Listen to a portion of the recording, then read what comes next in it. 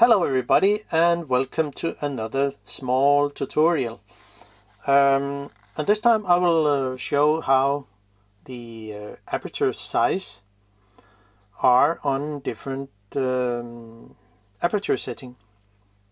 In my, it will say uh, it goes what, from 1.7 to aperture 16 and it's in my old uh, Olympus 35D, uh, I mean RD yes.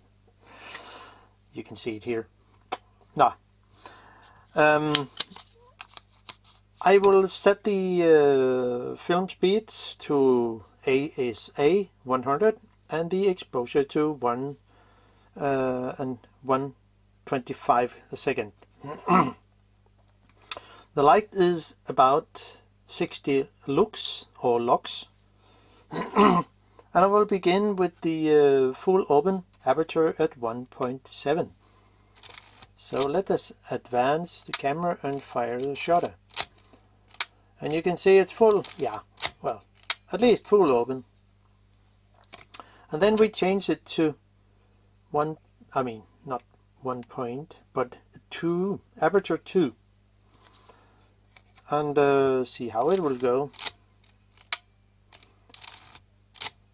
So it's begin to getting smaller.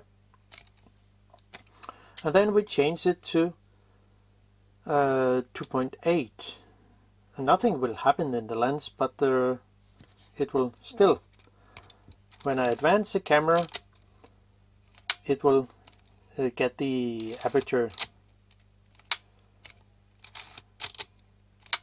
So and now we change it to aperture 4 there and do it again. And you can see it getting smaller and smaller.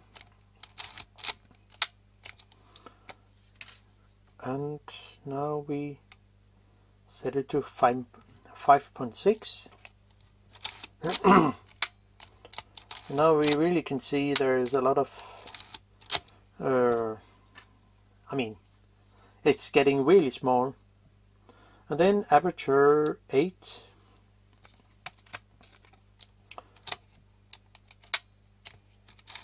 Oh.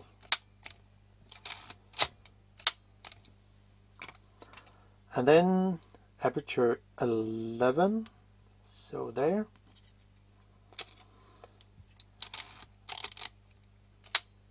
You can see it's there's only a small movement in the aperture plates. And then we now ended up with aperture 16 so and there is only slightly movement. And if I cover my put my finger over the the um,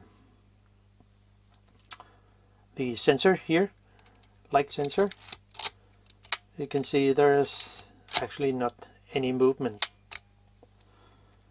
And if I set it to um, let's say 1.7 and cover it it will still be open.